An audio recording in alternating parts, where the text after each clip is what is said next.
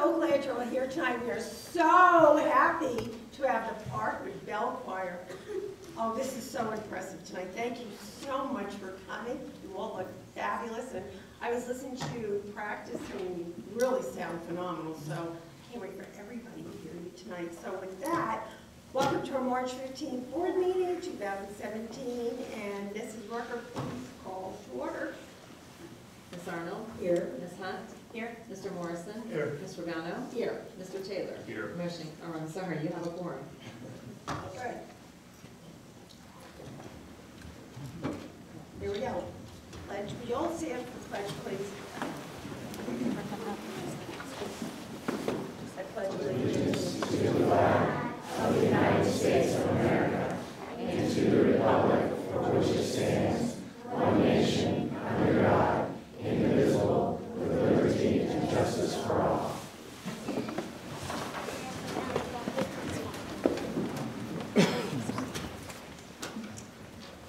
Okay, with that, Okay. turn over to Mr. Otten. Uh, Thank you, Mr. Regano. Uh, We have two presentations this evening, and we're going to have the kids hold for the second presentation. So, you know, the old saying, save the best for last. So, Mr. Braden, I apologize for making that statement, but I think you'll understand. Um, So I'd like to introduce Mr. Joe Braden. Joe uh, Joe is here to talk to us about uh, an award of distinction. So if we can have, Joe, if you can come up here, that'd be great.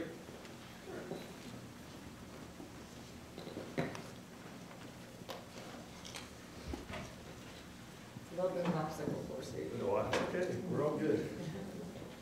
Well, it's great to be here in uh, Beavercreek for the, uh, on behalf of Auditor State Dave Yost, for the presentation of the Auditor State Award with Distinction for the audit year period 2016. Uh, It's important to note that this puts you guys in a very select group. The Auditor State's Office audits nearly 6,000 entities, and less than 300 are even eligible for this award. So I always like to read through the eligibility list here so that everybody knows what it takes to get this award. And it takes an awful lot, so bear with me here.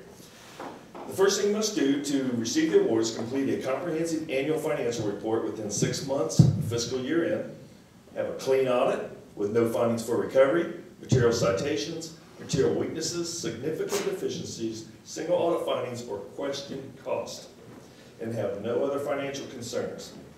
The management letter must contain no comments related to ethics referrals, question costs less than ten thousand dollars, lack of timely report submission, reconciliation issues, failure to obtain a timely single audit, findings for recoveries, or public meetings or public records issues. This award represents the hard work of all the school employees that strive each day to achieve excellence. Um, I want to recognize all the board members, superintendent, and everyone that have done an excellent job in accounting for all the uh, dollars that are spent here in the school district. And I especially want to recognize Ms. Penny Rucker for the treasurer for her outstanding leadership, her professionalism, and her commitment to fiscal integrity. Congratulations.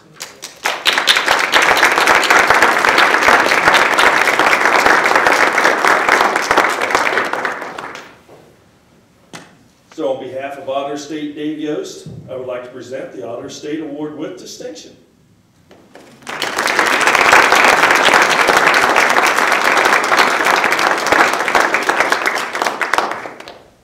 Congratulations. I felt the same way. One minute- Oh, We were waiting for your speech. wait for the speech. Who do you want to thank? I have to thank my staff because this is not a one-person show, so I have a great staff. Our um, budget directors, which are the principals and everybody in the departments who run their own budgets and uh, help keep all of our processes clean. You know, we couldn't do it without everybody working together as a good team, so thank you all.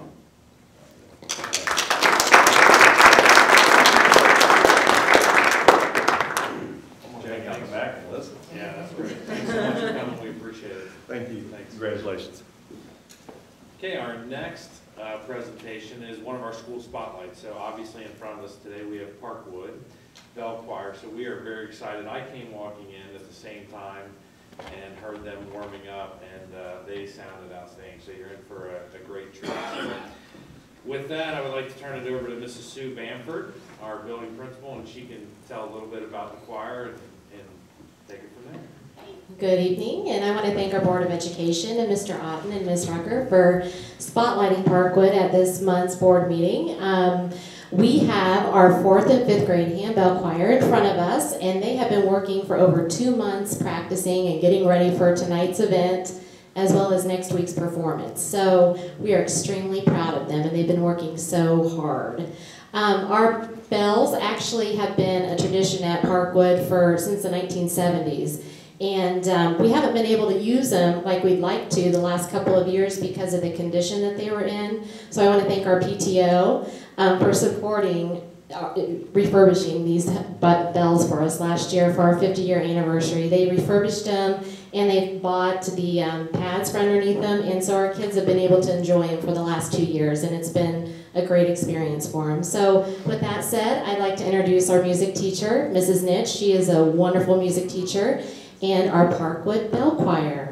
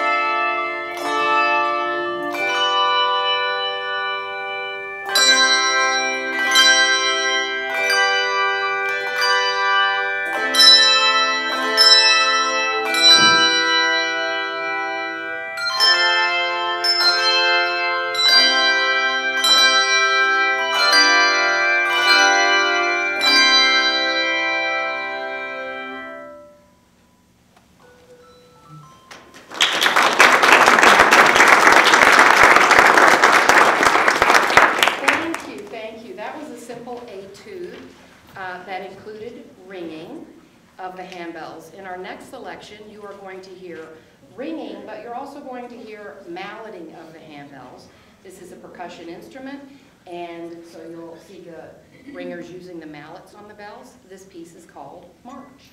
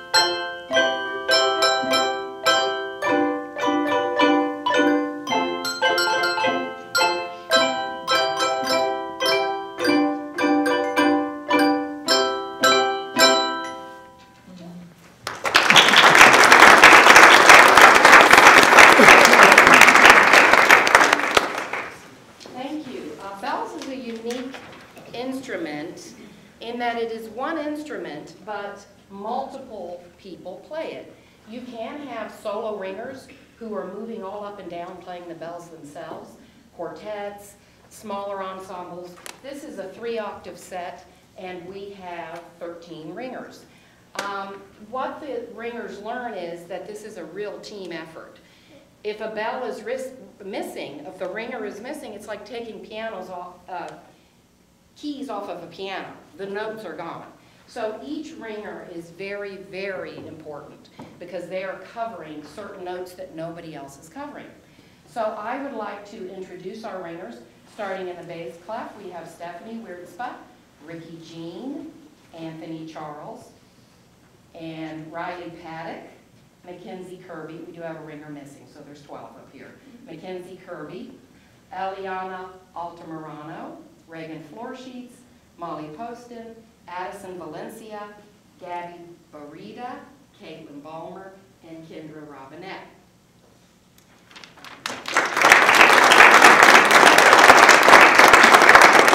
And I would like to point out that Anthony, wave to them, he is uh, normally just playing one bell, but he is filling in for the ringer that is missing, so he's picking up that extra bell and ringing two tonight. Thank you. Uh, This is our last selection, and uh, I would like to introduce uh, Kitty Macbeth. She has two older siblings in the uh, band program here in Beaver Creek, and she's a fifth grader. Uh, But she was very eager to begin playing flute, so we started lessons last summer, and she took lessons in the fall, and uh, she hasn't even gotten to Ankeney beginning band, and here she is performing. So uh, we're very happy to have her join us for our final piece, Au clair de la lune, which means in the light of the moon. We hope you enjoy this 18th century French folk song. Thank you again for allowing us to perform and for being so supportive of music and the arts here in Beaver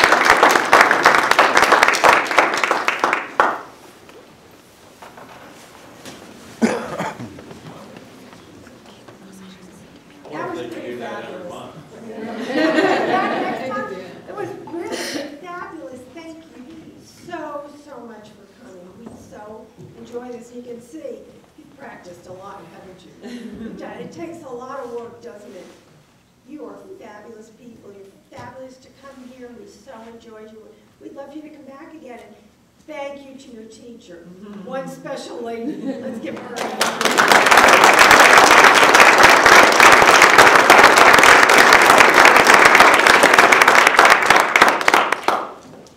Great, thank you so much, appreciate that. Do you guys do like weddings? I, I would like to ask an honest, a real question. How did, how did you guys get selected to do this? How, did you apply or volunteer, or were you asked? All, all we did one time, Miss Nitch sent a paper home, with, then the paper was asking us if we wanted to join handbell choir. And I never did handbell choir, and I thought to myself, geez, I'm in fifth grade, one more grade, and I won't be able to try out handbell choir because I'm going A. So I decided to try it out, and I actually love it.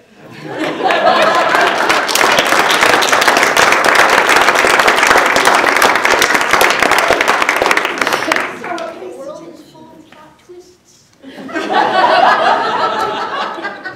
great. I love this. I love it. All right, well, thanks. You guys are great ringers. Thanks for coming out tonight. Now we, now we're not. We're gonna, we're actually gonna jump to a presentation. Right, I was gonna say, forget what it says We're on gonna your, move- uh, we're we're not gonna doing move the to the flag and break recognition. right now. We're jumping, we're taking number nine and bringing it right up right now with the mission.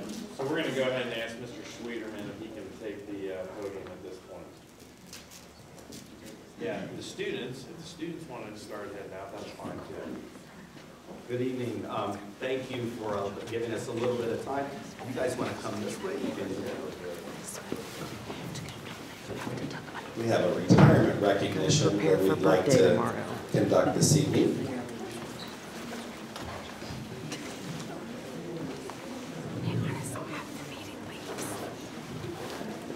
A couple of months ago, the Board of Education received notification of the retirement of one of our bus drivers, Mr. Robert Dick. Robert, would you come up here, please? And I understand that um, your last day of work will be next, next week, next Friday, and his retirement is effective at the end of this month.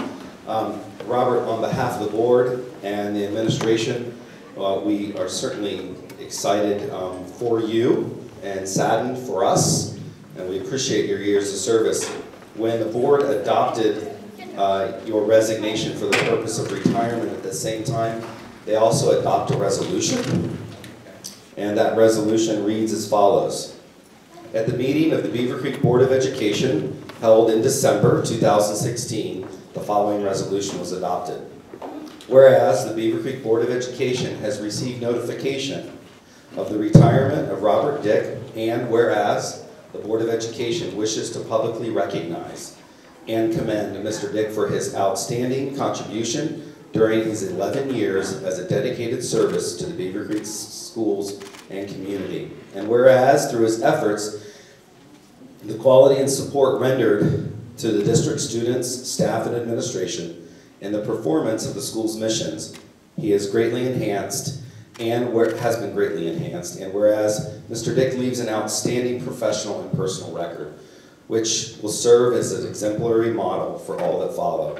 And whereas, in his presence, his influence and contribution have helped to make our schools a better place. Therefore, be it resolved that the Beavercreek Board of Education does hereby accept, with regret, the retirement resignation of Robert Dick and does publicly express to him its sincere appreciation for his outstanding career in our schools and wish him health, happiness, and a long, active, and contented retirement. Congratulations, sir.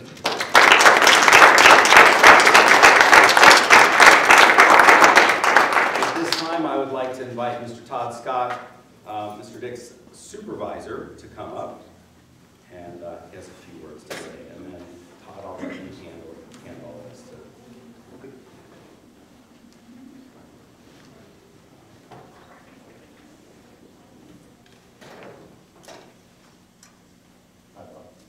Hi, Todd. I didn't recognize you. In 2005, a young fellow, a graduate of Belmont High School, decided he was uh, going to be a sub-bus driver for Beavercreek City Schools. On November 16th of 2006, that same young fellow accepted a full-time position, contract if you will, with Beavercreek City Schools, and has been a driver for us for the last 11 years. Then in 2008, a new supervisor came into town, and I'm glad I did. And I remember um, about three days after I'd been here, I walked in to the break room. It's the middle of summer. I started on June 15th, so school's been out for a few weeks. And it's like the third day I've been here. And there's this huge box. It's like a foot wide, a foot deep, and like 18 inches tall of popcorn. And I remember saying to uh, the ladies out front, who brought the popcorn in? And they said to me, well, that's one of our drivers. He brings it in all the time. So a few weeks later, I got the opportunity to meet Bob, and I, I thanked him for the popcorn, and he said, well, that's no big deal.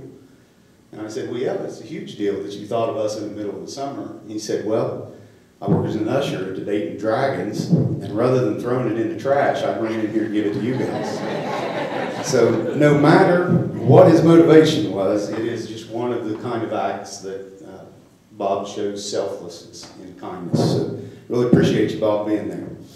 Um, now, after 11 years of driving for us, Bob is ready to move on to the next phase of his life. I'm very happy for you, Bob, um, but you will be missed.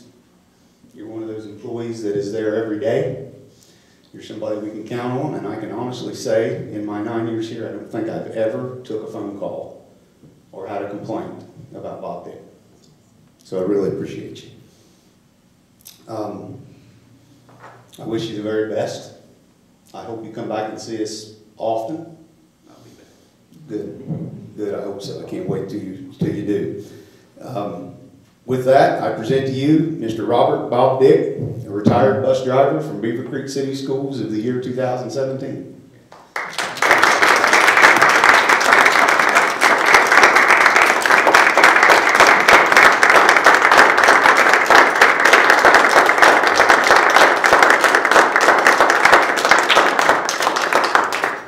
Next part Darren usually does, so I don't know exactly what all you're getting here, but I know there's a card there for you.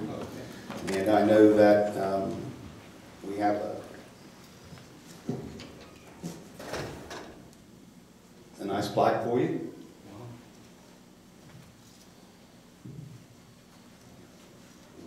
Copy of the resolution. Oh. And this is your copy of the board resolution that Darren read at the beginning of the presentation. Bob, we will miss you. Thank you for everything you've done.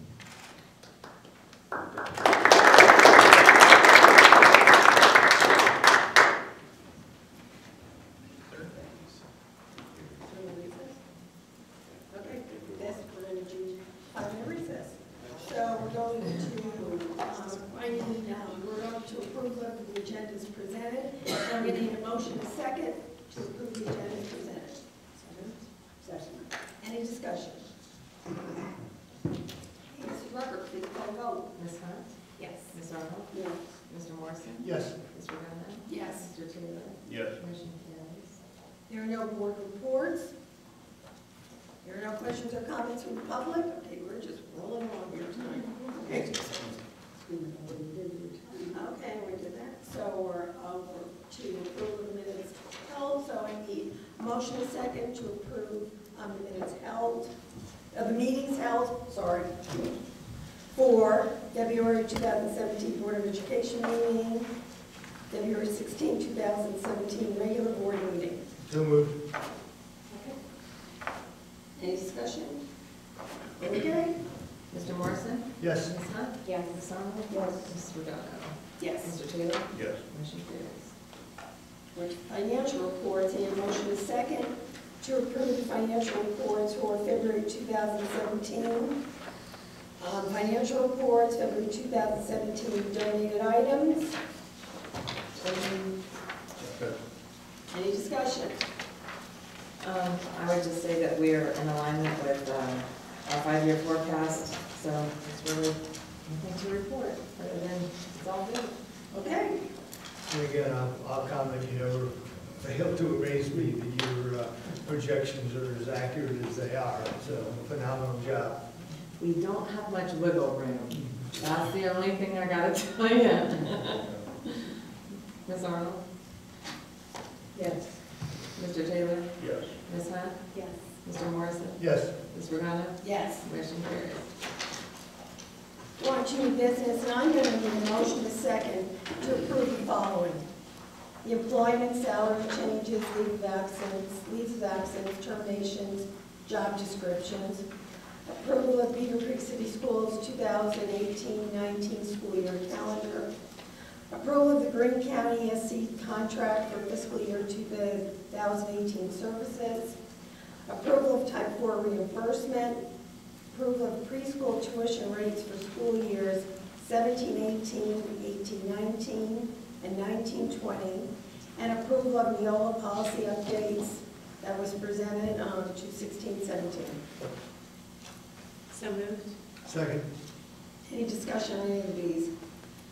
Uh, yeah, I would like to just share with the board a, a few of these items. Um, First one is the school calendar for eighteen nineteen, that follows the, under the BEA contract, there's a formula that is followed, so that adheres to that formula, and I would like to commend Mr. Schwedeman for his time putting that together. I know there's, there was some play in that as well, so we want, I want to thank him for that. The ESC contract that we entered into, we're a large district that receives a lot of services through our ESC, and there's a lot of students, uh, those services, services are primarily for student needs, so that uh, is why that number is where it is, and uh, we constantly look and monitor that throughout the contract. Uh, The tuition rates, um, would like to commend Ms. Fiore for the time she has given uh, to really examining this. She has done this over the past few months, has really researched a lot of the preschool rates, not only in this area, but some of our neighboring school districts, uh, to see where we fall. One of the things that we noticed significantly that we saw was that we were um, by far the lowest around. And- And not that you want to be the highest, and we're not trying to be the highest, but we really need to be competitive uh, for the services that we're providing. So uh, Mrs. Fiore did an outstanding job really doing that research and and, uh, digging into those numbers. So you- what we are proposing for the board tonight, that's why we're asking for three years. And and the reason we're asking that is to be able to communicate this out to our public so that we're as transparent as we can. Um, It would be that next year, the 17-18 school year, it would be a $190 increase total, uh, which would bring it to $1,030 per year. In year two, which would be 18-19, it would be another 100 $190 increase, uh, which would bring it to 100, or I'm sorry, 1,220 per year. And then in the final year, the 19-20, it would be a $180 increase, which would bring us to 1,400. That was, that would bring us within, that would align us with the other uh, preschools in the area, but we are still in the bottom half of that with just those increases. So I just want to make that, uh, bring that point to the board. We will communicate this information out to our public uh, so that there are no surprises there. And the last item is the Neola policies that were presented last month. Um, We've reviewed those and we feel good moving forward with those. So that concludes new business. Okay. Still an excellent value in the preschool. Excellent, mm-hmm. correct, yeah. Well, it's because if you look at, when we get to the third year, if you break it down monthly, it's hundred and fifty-five dollars and fifty-three cents monthly. So that's very, that's very reasonable, I mean, really. I broke these down by the month when I got this, I'm like, yeah, that's the bargain of the year. Well, Ms. Fiore did all the work, so we Thank you, appreciate that. Bobby. Ms. Hunt? Yes. Mr. Morrison? Yes, Ms. Arnold? Yes. Ms. Regano? Yes. Mr. Taylor? Yes. Motion carries. We're on to announcements. And spring break is coming up, March 27th to the 31st. Um, There'll be no school on Good Friday. All offices will be closed, which is April 14th. Um, There'll be no school for professional development on April 17th. And the next Board of Education meeting will be right here, April 20th, 6:30. And that takes us on to board comments. And we're going to start with Mrs. Arnold. Okay, I'm a woman of few words. Okay, all right. Mr. Taylor. Uh, Just want to commend Parkwood for their uh, Bells concert that they presented. And It's kind of nice to see uh, the diverse talents that we have in Beavercreek and uh, have them, to have an opportunity to showcase that. So It's really great. The kind of stuff that uh, creates memories and moments in kids' and parents' lives. So it's kind of fun to sit here and watch kids do their thing, but to watch the parents uh, respond to that was just uh, extra special. And some grandparents too, so that. And grandparents, yeah, I don't know anybody like Don't forget, you don't know anything. Yeah, Right, you don't know anything. Mrs. Hine. Um, looking forward to spring break, although it doesn't feel like spring-ish out there at happened. all. Um, hopefully we don't get our snow day on over spring break. Um, I want to thank Mrs. Fiore for the preschool, uh, information. I teach at a private preschool in the area, and our tuition is significantly higher than that, and our facilities are nowhere near what we have, and I know that our teachers are amazing, so I think that was definitely the right decision. I'd like to thank everyone for agreeing to change the meeting date from tomorrow night to tonight. That's truly appreciated, so thank you. I'd like to congratulate the Parkwood Bell Choir, a phenomenal job. And then last Friday, I had a chance to go over to Kettering Fairmont and see the uh, symphonic band as they performed in the OMEA uh, adjudicated event. Did a phenomenal job. Mr. Frost always does a terrific job, so congratulations to them. So Lindsay. So Parkwood was great. Thank you, thank you for bringing those kids over and for all the work you put into it. People just have no clue, do they? Especially when you're just starting out, right? That to me is, yeah, music teachers, yeah, deserve medals, but just saying. They were shows, they, um, I was at, was the end of the year, they had the, um, sixth grade band, the middle school band. And it was like, in October, and we're sitting there and like, this teacher deserves a medal, because her, you know, as Mary had a little lamb and twinkle, twinkle, little star, I'm thinking, and this is great, because by the time we get to the high school, Matt Frost has a band. So, these teachers that are starting these kids out are amazing, and you have the patience of a saint, so thank you, thank you. Um, Weekend of Jazz was spectacular, I'm just saying, it was amazing, amazing. The bands they brought in were unbelievable.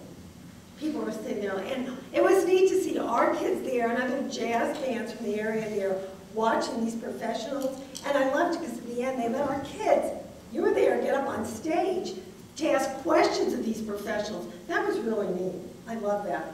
That was a good thing, yeah.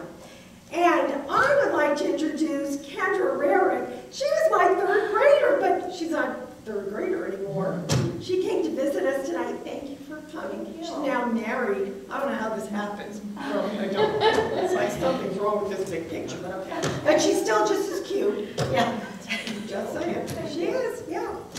And with that, I, I would like to just, I'd like to commend the board, um, and I would like to thank Mr. Morrison for grabbing this for us last night. The Board of Education received an award, and I just would like to read what this award is. Uh, OSBA, Ohio School Board Association, uh, does, it- it's out of the Southwest Region uh, Association. They do an effective school board award, and it is granted to those schools, school boards who perform outstanding work in their region. Each school board is evaluated based on criteria such as leadership abilities, collaboration efforts, efforts to increase student achievement, establish community relationships, fiscal responsibility, and management. And the Beavercreek City School uh, Board received the silver level recognition last night. So I'd like to commend all five of you for the work that you've done. And we will continue to strive for the goal next year. So uh, we will, we'll continue to do that. The other thing I'd like to share, and then this is board member comments, but I had an opportunity to speak with uh, Mr. Zaharieff, and I'd like to you, uh, Mrs. Regano. He informed me that you received an award recently uh, from the, I believe, the fire department uh, for your community service. So I thought you should, should be recognized for that, because those things kind of happen under the radar. And the last thing I'd like to throw out is if you're open on Monday night of next week, I will be serving pizza from four thirty to eight o'clock at, uh, the Beavercreek Pizza Dive. So I'm looking forward to that. Teresa's got me all set up, ready to go, so if, uh, that's for the community too, so if anybody would like to come out for that. Spread the word. Yeah, I'd love to, And love let to meet you and see you, so, great. That's all I have. That's Sorry. it? Okay, Yeah, sorry, I thank jumped you. in there. Okay.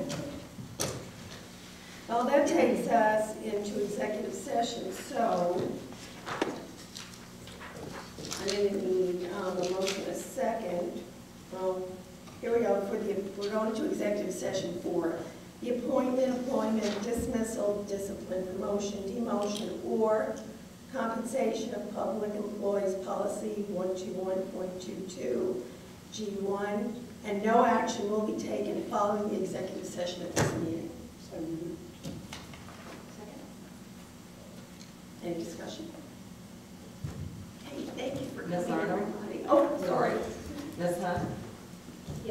Mr. Morrison? Yes. Ms. Redondo. Yes. Mr. Taylor? Yes. That motion carries. Now we Thank you all for coming.